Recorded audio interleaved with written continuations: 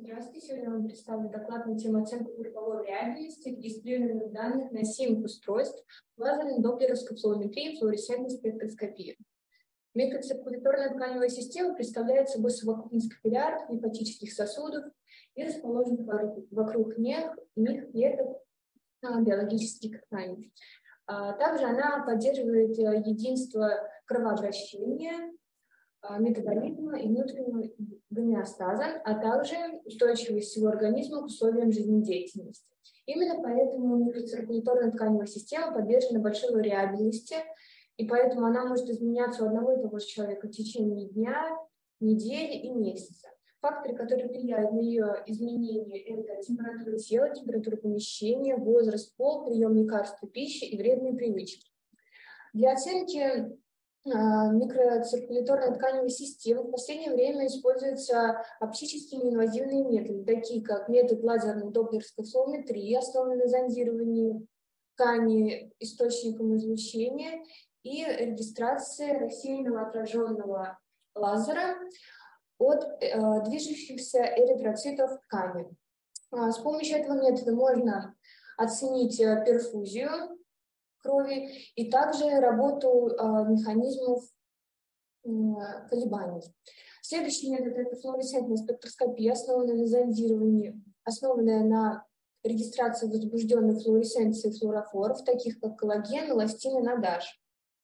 Актуальность нашей работы заключается в том, что с момента появления а, методы лазерной доплеровской флуометрии для оценки микроциркуляции использовались стационарные устройства, изображенные слева на слайде. Но в свете появления новых носимых лазерных устройств появилась необходимость сопоставления данных с ранее измеренных на стационарных устройствах. И э, вариабельность – один из параметров, которые мы будем сравнивать.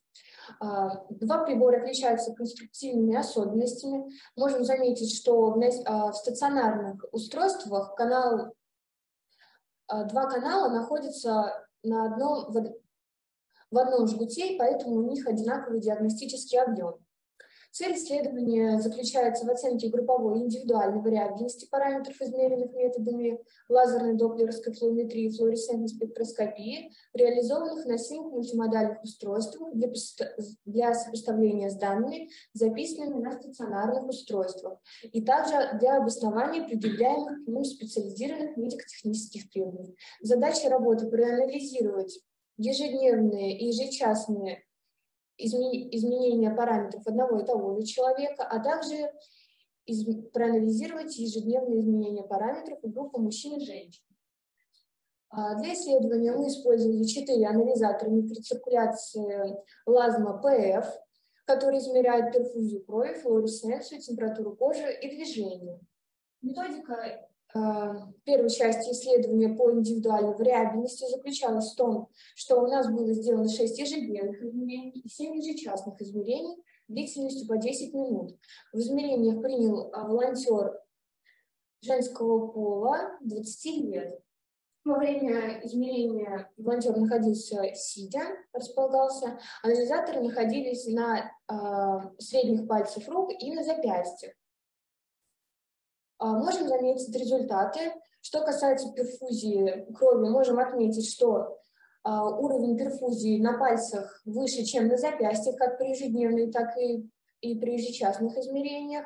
Также а, можем заметить пик во время 13.30, время обеда, что обусловлено приемом пищи. Что касается коэффициента вариации, можем отметить, что вариабельность больше на пальцах, чем на запястьях, а также изменения во время приема пищи связано с циркадными ритмами. На данном слайде представлены результаты по амплитудам колебаний. Отмечено, что амплитуды колебаний в области пальцев больше, чем на запястьях также, и можем заметить, что коэффициенты вариации Пассивных колебаний дыхательных сердечных меньше, чем активных в области пальца, а на запястье можем заметить, что наименьшей вариабельностью обладают э, миогенные колебания.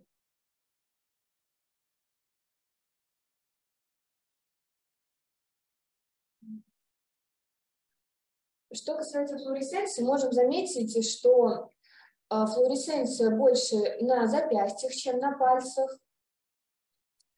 И также коэффициент вариации в области запястья также отличается повышением на запястьях. Это связано с, метаболич... Э, с, интенсивностью, с интенсивностью метаболических процессов. А, на данном слайде представлены результаты внутрительного кровотока и показатели окислительного метаболизма. Это расчетные параметры. Внутрительный кровоток характеризует а, поступление питательных веществ к клеткам и кислорода, а показатели окислительного метаболизма характеризуются поступлением питательных веществ, а также их утилизацией. Можем заметить, что эти два параметра э, больше на пальцах, чем на запястьях, и также коэффициент вариации э, данных э, параметров, то также больше на запястьях, чем на пальцах.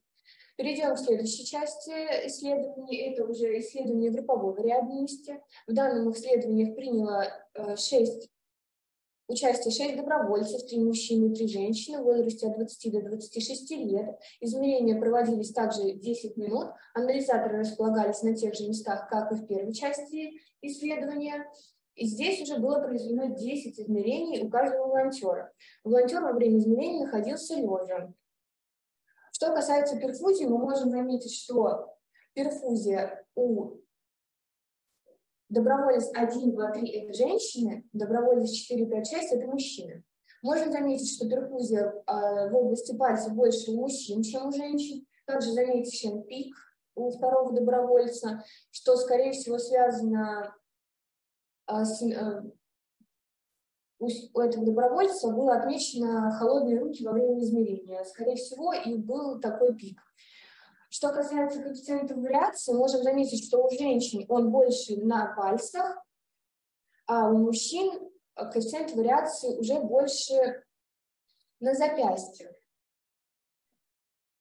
Что касается амплитуд колебаний активных, это эндотелиальные, неогенные, мы можем заметить также, что у женщин э, уровень колебаний выше, чем у мужчин, что связано э, с большой подверженностью физических, физической и эмоциональной нестабильностью, изменчивостью.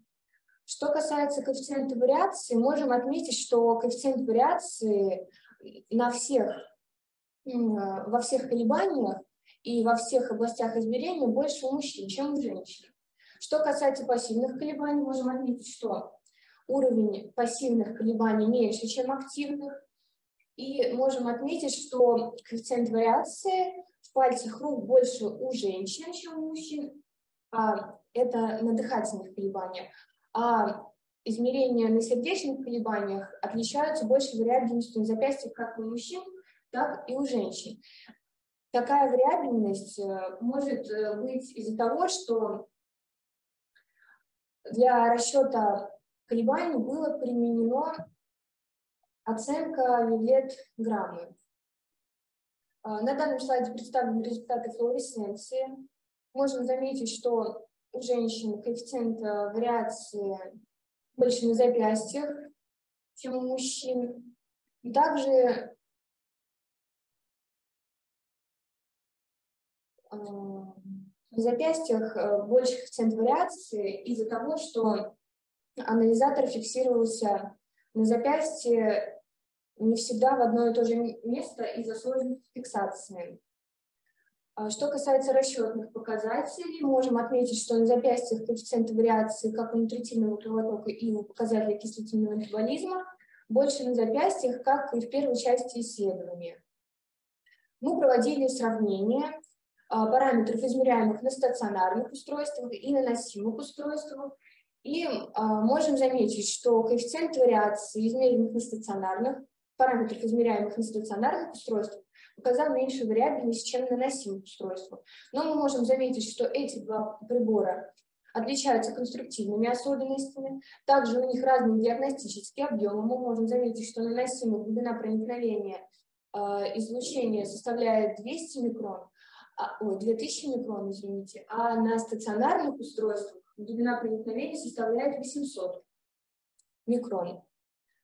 И также во время измерения А, на стационарных устройствах два канала расположены были в одном волокне, и при установке на область измерения все измерения считывались с одной области, потому что расстояние между каналами составляло всего 1 мм.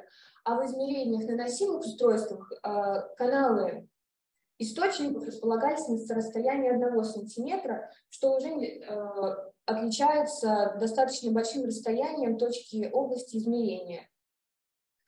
Мы подвели выводы и можем сказать, что в результате экспериментальных исследований полученных значений ежедневной групповой вариабельности коэффициент коррелировался преимущественно до 32% для измеряемых величин нормированной амплитуды флуоресценции на даже перфузии тканей крови и амплитуд колебаний. Также было показано, что вариабельность больше при ежечасных измерениях, чем при ежедневных, что может быть связано с циркадными ритмами. Также полученные результаты сопоставимы с аналогичными проведенными измерениями с помощью стационарных устройств, статистически значимых различий нет, и полученные результаты будут использованы для уточнения специализированных медико-технических требований к носимым анализаторам. Спасибо за внимание. На этом у меня все.